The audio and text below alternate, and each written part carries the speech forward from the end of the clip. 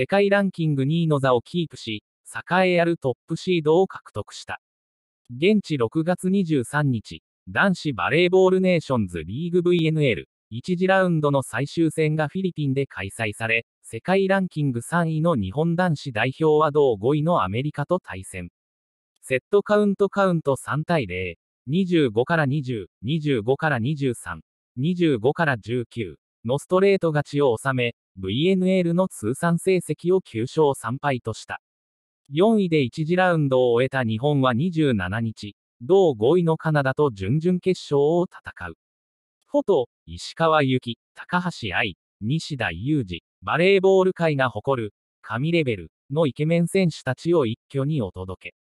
大きな注目点となっていたのが、最終的な世界ランキングだ。日本はアメリカ戦の勝利で暫定的に2位に浮上していたが、その後の試合で3位スロベニアが10位セルビアに3位1以上のセットカウントで勝利すれば、再び3位に後退していた。ところが試合は意外にもフルセットまでもつれ込み、スロベニアは辛くも3の2で勝利。わずか、プラス0.10ポイントを上積みしただけで、日本を逆転できなかったのである。となると、26日に行われるパリ五輪、抽選会では俄然有利になる。出場12カ国は3つのプールに振り分けられるが、A は開催国フランスで、B が世界1位のポーランド、そして C のトップシードに世界2位の日本が食い込んだのだ。あとはポット2が3から5番手、ポット3が6から7番手、ポット4が8から11番手に設定され、抽選で各プールに振り分けられる。この結果を受けてネット上では日本のファンによるコメントが続々と寄せられた。マジかよ。トップシードとか尋常じゃないな。本当に強くなったんだな。世界2位って初めてでは。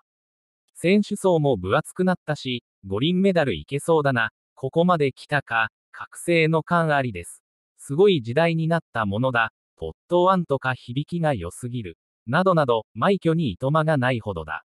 以下が4つのポットの内訳だ。括弧内は最新世界ランキング。ポット1、フランス、開催国7位、プール A へ。ポーランド、1位、プール B へ。日本、2位、プール C へ。ポット2、スロベニア、3位、イタリア、4位、アメリカ、5位、ポット3、ブラジル、6位、アルゼンチン、8位、カナダ、9位、ポット4、セルビア、10位、ドイツ、11位、エジプト、19位、